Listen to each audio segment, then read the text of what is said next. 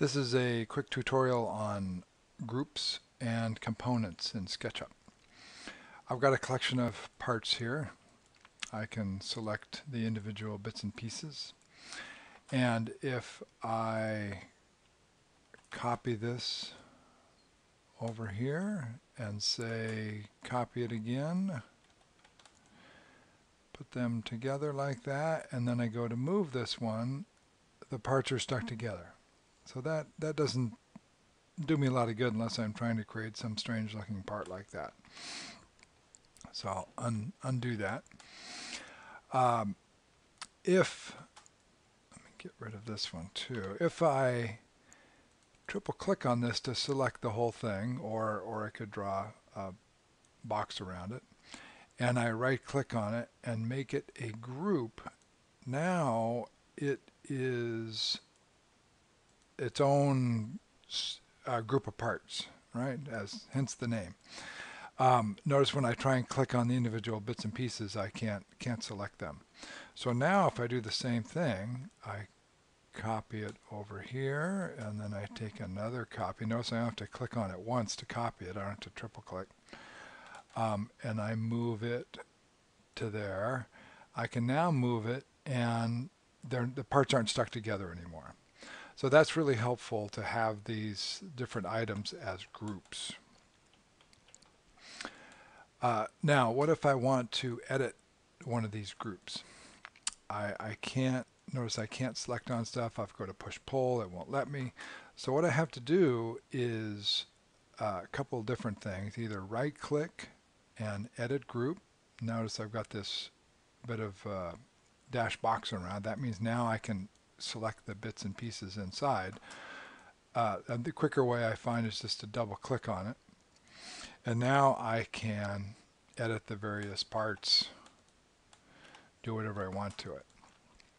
Um, if I say I want to create a tenon on here,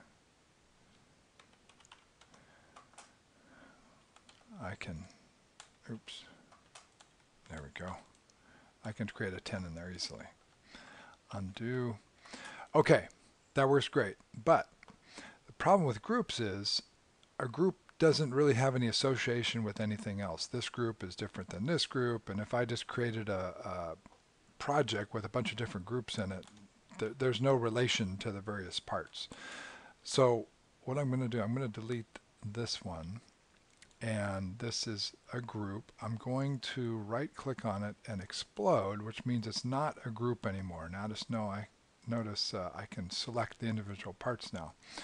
This time I'm going to right click on it and make it a component. Uh, I'm just going to leave the name there. I'll click create. I'm making sure that box is select. And notice in the component window there is my component I just created. And if I highlight it here, it has the name up here. I can rename it. I'm going to call it apron. Notice it changes it there. I can bring another one in from there. I can get rid of it. Okay, so now I'm going to copy this over here.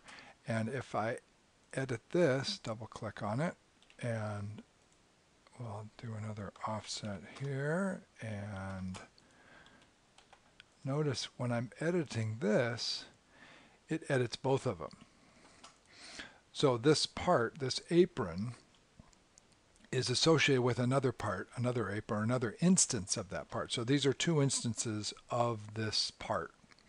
And if I was to open up the entity info box over here and highlight one of these, it will tell me that it's a component. There's two in the model. It tells me the name. I can also change the name over here. Now, let's say I've got long aprons and short aprons in my model, I can uh, select one of these. I'm going to right click on it and I'm going to make it unique. It is now different. It's still a component, but it's different than this component. Notice it says apron number one. I can click it over here. I'll just say apron long and escape out of there. So I open this up. I can make this one longer than the other one. And now I have two different components. They're both uh, in, independent parts. If I create more of this one or more of this one, those will be different instances of the same component. Very handy, very useful. Uh, I tend not to use groups much just for temporary use. In general, components are the way to go if I'm making a, uh, a project with lots of parts.